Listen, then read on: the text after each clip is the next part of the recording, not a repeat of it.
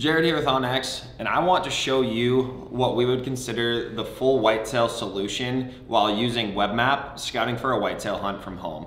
That's really where the power of the onX Hunt app lies, is using all of our layers and features in combination to make you more successful in the field. So jumping in, this is just an example property in Missouri. As you can see, I have Missouri private and government lands turned on. Those are pretty much the most crucial layers to make sure that you know exactly where you are, whether you're hunting a familiar piece of private, making sure you know those borders, an entirely new piece of public. The onX Hunt app is gonna have you covered um, with those land boundaries to make sure you're on the right side of the fence.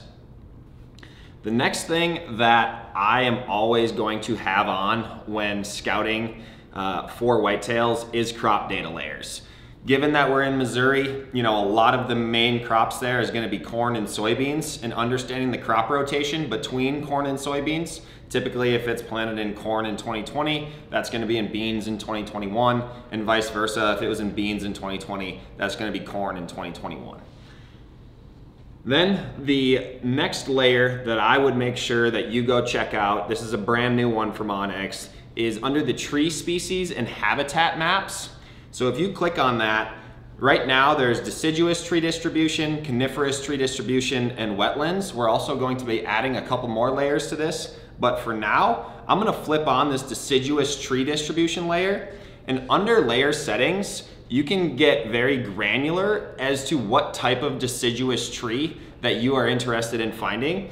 So if you just simply click on these to deselect them, the only one I'm going to leave on is the oak hickory layer because um, that's going to give me a great idea of where mature stands of oaks are um, to hopefully find that mast crop on the ground that deer will be keying in on uh, throughout much of October. The next thing, um, as far as map tools go, is waypoints. As you can see, I have waypoints scattered across this property.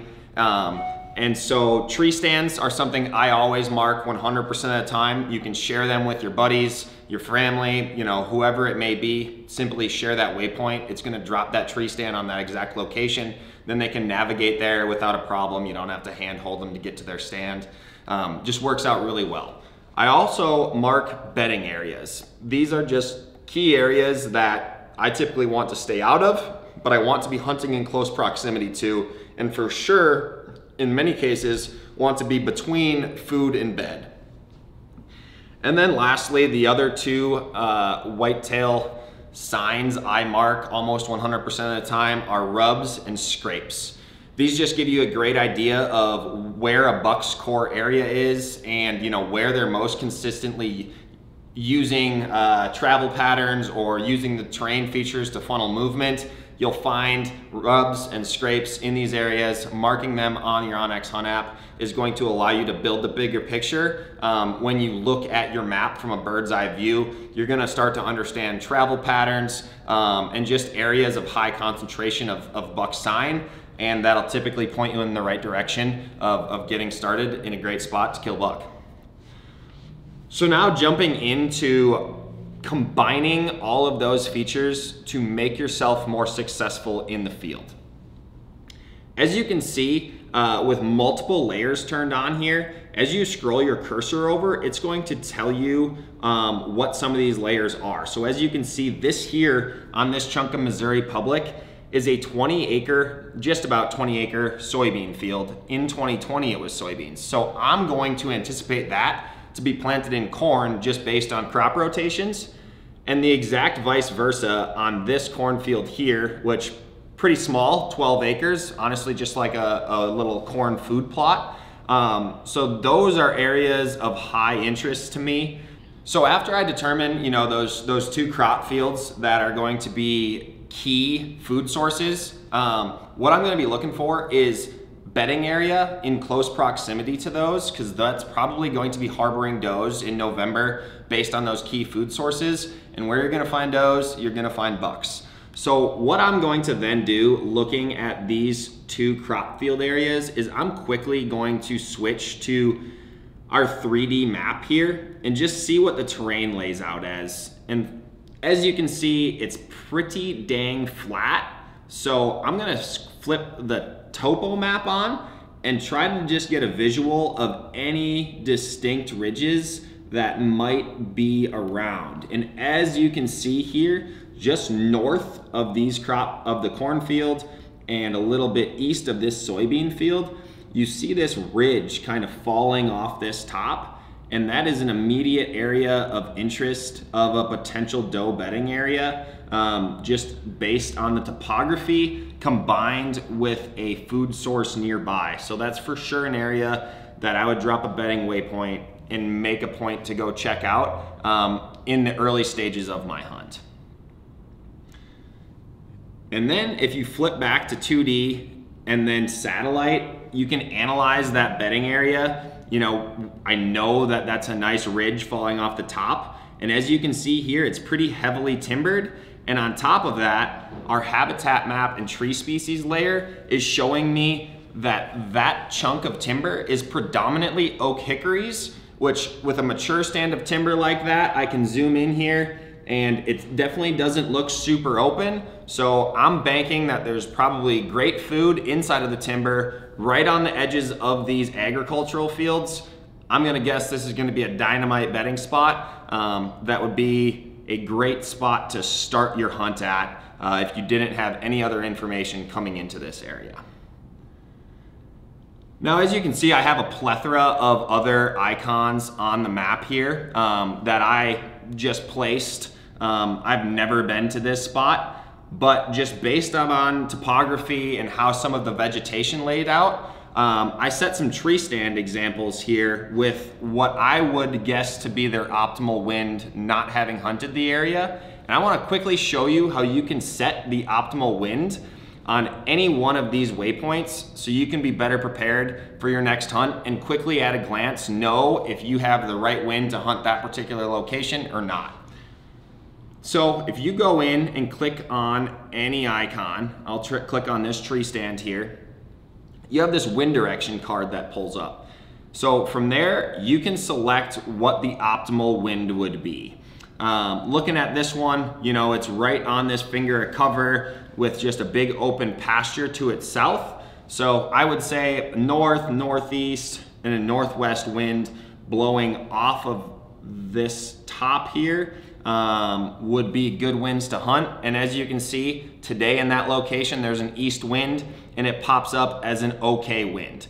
If you have a good wind for that stand, it's gonna come up in green, bad is gonna be red, and then iffy will come up as orange. So just a super easy way to help you quickly determine if that stand is gonna be huntable or not based on today's weather conditions. Another tool that I really put to use, uh, particularly around hunting bedding areas, is the range radius tool. So again, if you click on a waypoint, this card is going to show you uh, the ability to add a waypoint radius. And so the way I like to use this is you don't want to get in too tight to bedding areas and blow your hunt before it even begins. But a lot of times you want to be tight enough that you are going to get that deer movement in daylight before it's dark. So you need to be within a pretty close proximity to get them in the staging area. Um, they might not necessarily make it out to the edge of the destination food source before dark. So a lot of times you wanna push the envelope and uh, get a little bit more aggressive when you're hunting these bedding areas. So the rule of thumb I go by is, you know, anywhere from about 80 to 150 yards um, from that bedding location, just depending on uh, the wind speed, you know, how much other noise there is, uh, and how quietly you can get in. If your tree stand's already in the tree, you can get a little bit closer. If you have to hang it, you're gonna probably have to stay just a little bit further outside of that bedding zone. So we'll call it 100 yards here. And what that does is it applies a very clear circle around your waypoint, showing you how far um, 100 yards is from any direction from the center of that waypoint. So just a super helpful, uh, quick feature to use and flip on to know uh, distances from any waypoint location. And then the last thing I wanna show you that I have organized on this piece of ground is our new foldering system.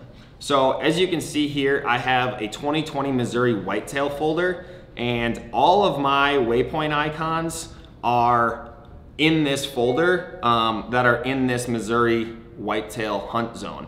And so quickly, if you just tap hide on map, it hides all of the waypoints that are in that folder and just with the click of a button, they reappear. So it helps you keep your map less cluttered, helps you organize. Um, you know, you can do it by year, you can do it by species, a lot of different ways that you can keep your content uh, concisely organized and easy to access.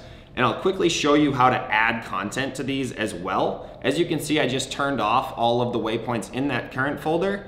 If I just quickly tap add content, it will show me the icons inside of my view that are not yet in that folder. And you can quickly just select them and add that content to your folder. And boom, you have your full folder of your Missouri whitetail hunt, just like that. So to recap, there's a few layers that I'd always have on when e-scouting for whitetails. Our crop data layers, our tree species and habitat maps, public and private. And then as far as features to use, make sure you're dropping waypoints not only on tree stands to share with buddies, but also on bedding areas, rubs, and scrapes to get a bigger picture and understand how deer are using a property. And then make sure that you're using the waypoint functionality of optimal wind to quickly at a glance know the best stands to hunt for that day's weather conditions as well as the range radius to help you understand how tight you can push the envelope to get into that bedding area, to hunt the edge of that food source, whatever it may be. So use these tips and be more successful on your next whitetail hunt.